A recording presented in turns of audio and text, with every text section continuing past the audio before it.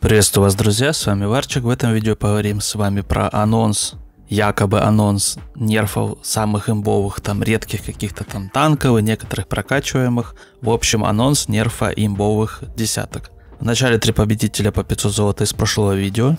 Если вы играете на Рубай регионе, под этим видео пишите комментарии, в конце оставляйте никнеймы, если хотите участвовать в розыгрыше золота. В этом видео я расскажу чисто свое мнение как игрок. Играю я много, практически каждый день, всегда стримлю.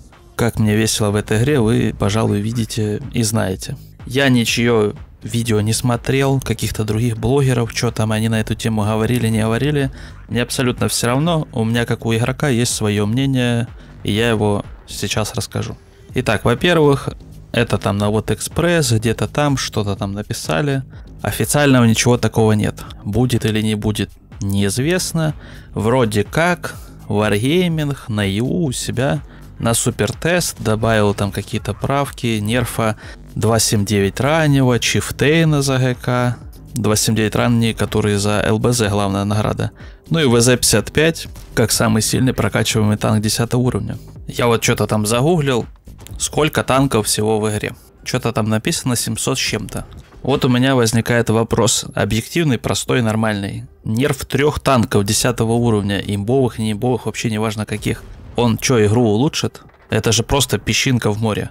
Я ожидаю, что улучшение игры будет равен нулю. Просто вот ноль улучшений. Хоть они понерфят два танка, хоть три, хоть пять, хоть 10. Танков 700, даже больше. На мой взгляд, на каждом уровне нужно самые слабые танки, штук 10-15 апнуть. И апнуть не просто что-то там, а задуматься, что им надо, что не надо. Самые сильные 5-10 танков можно понерфить. И тогда я замечу, что что-то в игре изменилось, реально. На мой личный взгляд, вот адекватный, я вот просто смотрю на это все и думаю, среди 700 с чем-то танков понерфят 3. Это как плюнуть в море. Еще и против ветра, оно тебе вернется и все. Это первое. Второе.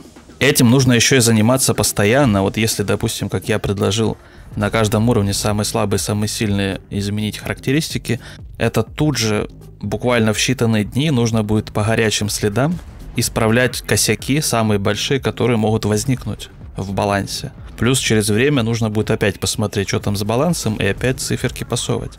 Поэтому, видимо, либо этим вообще лучше не заниматься, как у нас и происходит в игре, либо постоянно. Следующий вопрос. Будут ли люди недовольны? Конечно. Всегда люди недовольны, когда нерфят их любимый танк. Буду ли недоволен я? У меня все эти танки есть. Мне абсолютно пофигу. Понерфят их, апнут. Во мне вообще все равно. По двум следующим причинам. Первое. У меня нет любимых танков в этой игре, потому что я перестал этим заниматься, когда мои любимые танки, несколько моих самых любимых танков понерфили, и я задумался, зачем мне вообще в статус любимого танка возводить какой-то танк, молиться на него, а потом он превращается в тыкву, и я просто потом недовольный. Я решил расширить свой ангар, наставить в него кучу танков, понерфили какой-то танк, ну он отправляется покрываться пылью. Какой-то танк сейчас в мете, он хороший, я играю на нем. Разработчики давно, вот 13 лет практически этим занимаются, делают игру абсолютно не сбалансированную везде, где только можно, и тем самым подталкивают тебя бегать от ветки к ветке, от танка к танку, шевелиться по игре. Я решил, что я шевелиться не буду, я просто сделаю себе такой аккаунт, где все есть. Зачем мне что-то там бегать, я просто в любой момент могу выбрать любой танк. У меня на основном аккаунте, по сравнению с пресс-аккаунтом, всего лишь пару танков не хватает. То есть у меня практически есть все, мне все равно вообще. У меня все прокачано. А вот те люди, которые находятся на том этапе, когда они еще возводят в статус любимого танка какой-то там танчик, они будут очень недовольны. Могут даже с игры ливнуть, конечно же. Это будет еще одна капля, которая переполнит чашу. Поэтому будут люди, конечно же, и более негативно настроенные, чем я к этим всем нерфам. И следующее.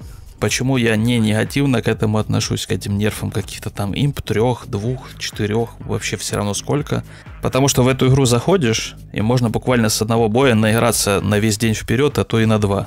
Потому что проблем столько много, что пусть уже хоть за что-нибудь берутся, хотя бы уже за три танка, хотя бы вот эта песчинка в море, хоть что-нибудь пусть поделают. Там уже хуже не будет, я уже не знаю, заходишь в эти бои, две минуты, пшик, все закончилось. В игре столько много проблем. Для тех, у кого эти танки любимые, да, это будет большой негатив.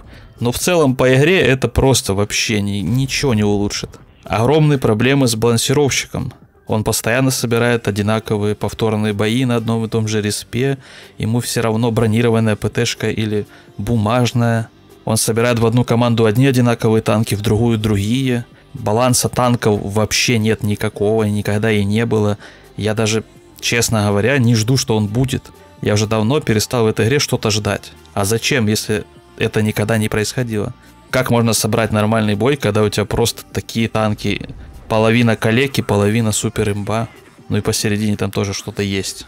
Плюс еще балансировщик такой глупый. Как он, в принципе, может собрать бой адекватный? Это невозможно. Оно так настроено, что невозможно собрать бой, который будет нормальный. Еще я отталкиваюсь от того, что карты, они все переделаны вот в когда переводили, они все коридорные. Все карты сделаны так, что они сгоняют игроков в одну канаву коридорную, и они там за две минуты быстро расстреливают друг друга голдой специальными снарядами. И бой заканчивается очень быстро. Все. Вся игра так сделана.